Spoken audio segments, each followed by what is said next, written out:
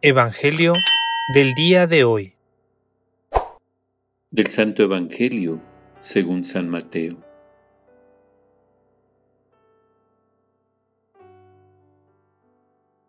En aquel tiempo, Juan se encontraba en la cárcel y habiendo oído hablar de las obras de Cristo, le mandó preguntar por medio de dos discípulos, ¿Eres tú el que ha de venir o tenemos que esperar a otro?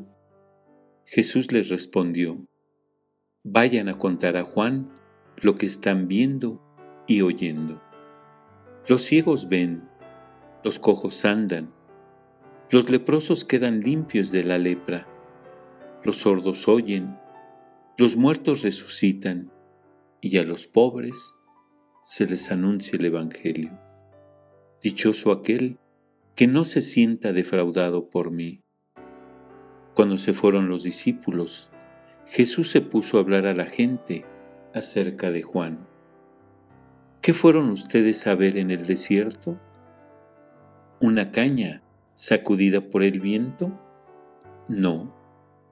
Pues entonces, ¿qué fueron a ver? ¿A un hombre lujosamente vestido? No.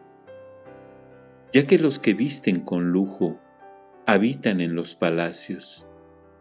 ¿A qué fueron, pues? ¿A ver a un profeta? Sí. Yo se lo aseguro, y a uno que es todavía más que profeta. Porque de él está escrito, He aquí que yo envío a mi mensajero para que vaya delante de ti y te prepare el camino. Yo les aseguro que no ha surgido entre los hijos de una mujer ninguno más grande que Juan el Bautista. Sin embargo, el más pequeño en el reino de los cielos es todavía más grande que él. Palabra de Dios. Gracias por compartir con nosotros.